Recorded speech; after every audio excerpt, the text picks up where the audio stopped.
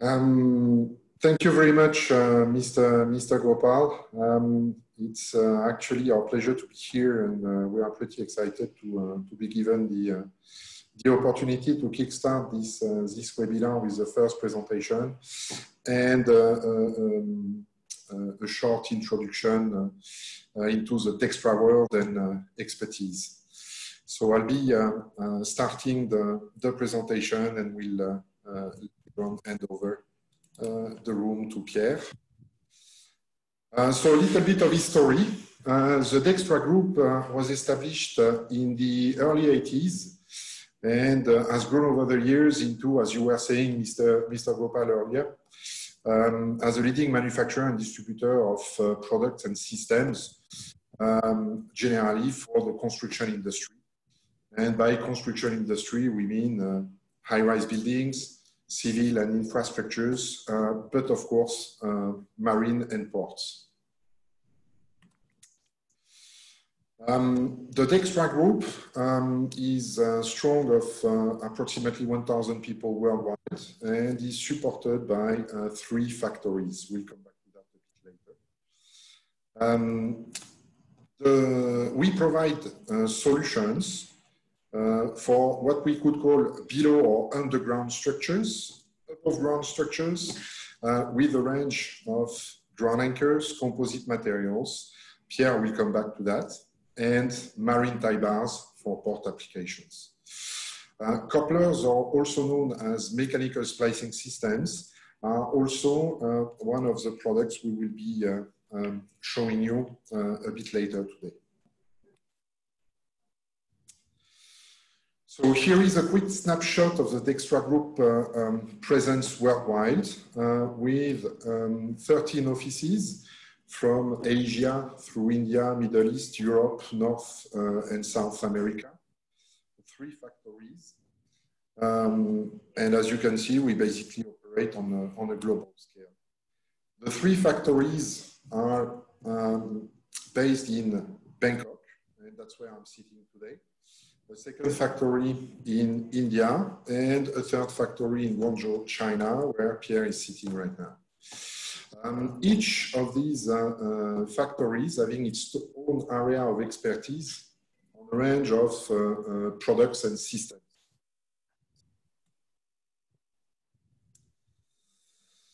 As we were mentioning uh, earlier, the product and, uh, um, and systems that we are supplying are um, related to commercial residential projects, uh, nuclear facilities, infrastructures, and of course today um, uh, we will be focusing on uh, marine industry uh, as a theme of the webinar. As the last fold of this introduction, um, something that we can say quality is actually everything uh, uh, in everything that we do.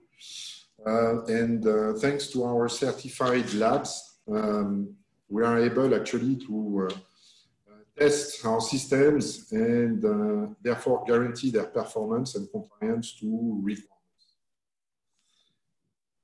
It's now time to hand the presentation over to Pierre, who will walk us through some of Dextra innovative solutions. Thank you, Julien. So indeed, um, the objective of today is to answer this question in uh, how um, uh, can we answer the challenges, the opportunities uh, for ports and shipping. And so at Dextra, we believe that uh, innovation is uh, the part where we can play a role. And um, as a manufacturer, as a supplier, we see that uh, we can address it in three different ways through innovative production processes, through um, new materials and also uh, addressing many uh, uh, new applications.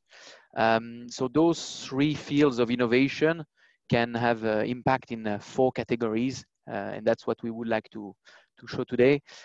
one aspect is um, the speed of execution. And what we mean here is um, especially the construction phase, how, how to build a port faster. But also, uh, if the design is smart, it will increase uh, productivity uh, as far as operation is concerned. Um, other aspect also where this innovation will uh, will uh, show is uh, when it comes to uh, quality and safety. Uh, again, uh, all this during the construction phase will have an impact on the on the later execution and operation of the port. And looking down the road, this is very important to consider the question of the sustainability and durability if not for us, probably for, for our children and grandchildren. And that's a very, uh, uh, I would say, uh, uh current concern and becoming a, a, larger concern. So that's that's something definitely to, to address. Um, the fourth direction we would like to look at is modularity. And what we mean here is adaptability, flexibility, um, something that is uh, important in a world that is changing so fast, like, like our world today. So the, the first and probably the, the most iconic field for us for innovation is to introduce to you um, composite material. Um, so we call them at Dextra fiber reinforced polymer, but actually I think many of us uh, know them just simply by fiberglass. Um, so Dextra um, here in Guangzhou, we manufacture uh, those products so as a, a long um, bar. Uh, so we have a, uh, very innovative process called pultrusion and basically we can extrude those products by pulling. So that's that's the concept of pultrusion. So um, let me show you a few applications of how those fiberglass products can help the challenges of ports. Um, the first application that we would like to show you is um, during construction phase.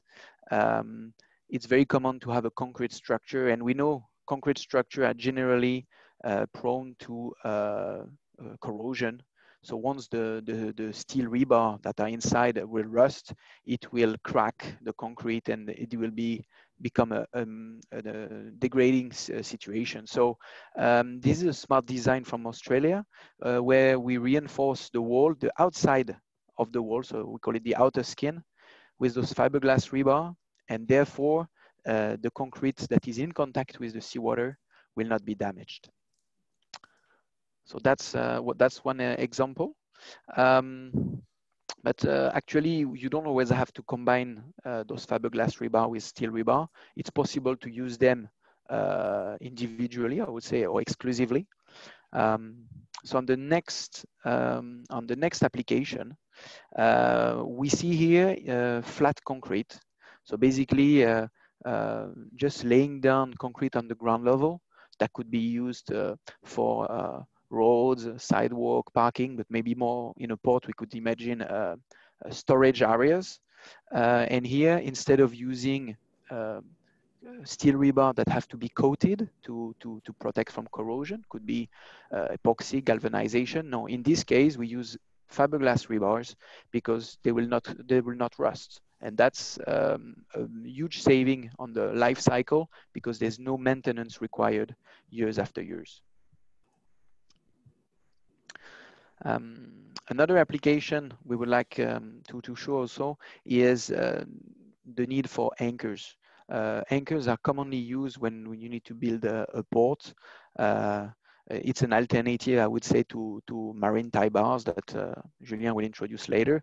Um, but also in, in marine, many marine structure, anchors can be used. So at Dextra, we supply those um, fiberglass bar with plate nut to make it an anchor with coupler to extend the length.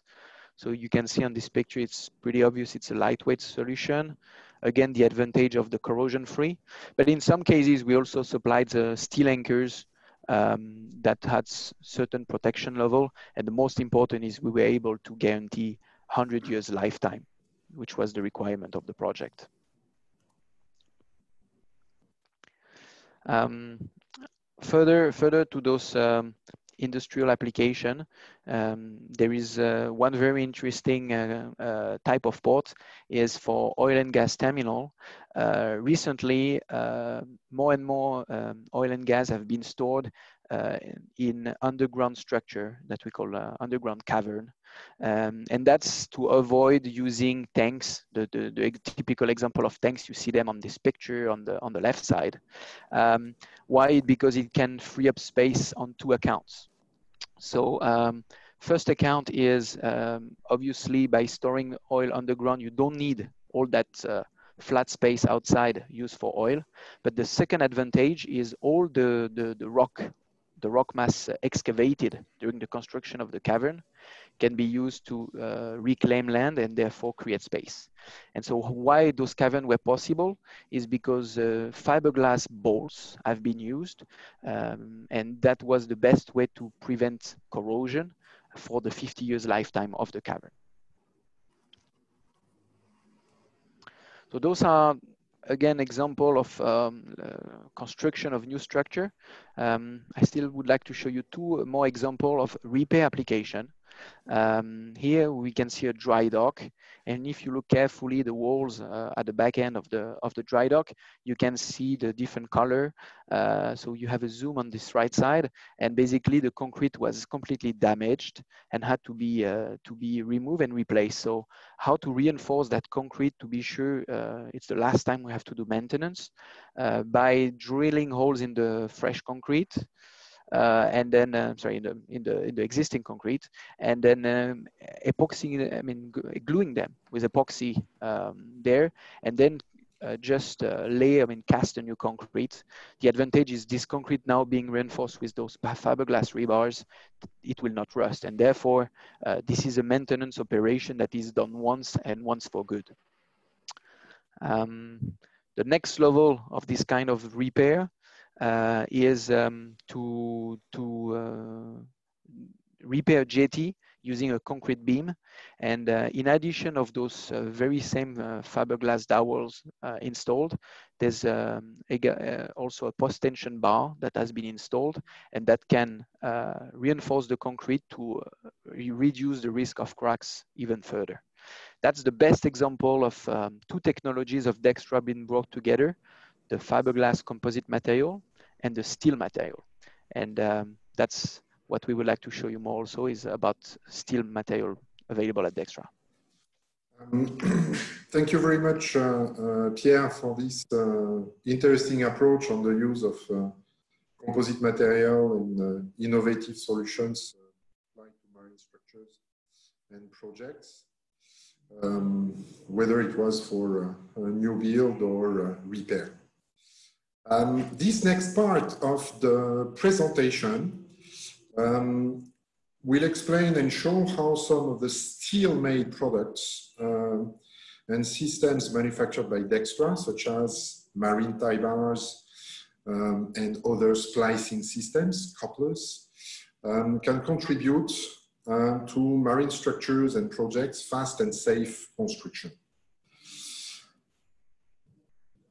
So here an example of um, steel wall um, that uh, is anchored into an anchor wall that is as well made of steel sheet piles. And the aim of the game, if I may say, is to anchor the main seawall into this anchor wall and offer stability to the quay that will be built uh, on top. It's interesting to note that uh, depending on ground conditions um, and uh, project requirements, uh, such quay walls can either be made of steel, as mentioned and as shown here, but as well um, of concrete walls. Uh, and this would depend on uh, design requirements and uh, ground conditions. The principle would remain the same, anchoring a main seawall into a retaining wall located. Here are uh, a, a, few pictures and some views of marine structures either built with uh, steel or concrete walls. Um, obviously, uh, it's possible to combine uh, those different type of walls uh, in order to fit uh, the purpose and project requirements. Um, and uh, this is actually uh, um, making it uh, quite an easy transition to the next application that is this time mostly uh, uh, made of reinforced concrete. Another technique, if I may say, um, of uh, building such quay walls or large jetties are what we call concrete caissons. Um, so they are actually a, a type of uh, modular structure um, which is oftenly used in the construction of large quay walls and large jetties um, at sea.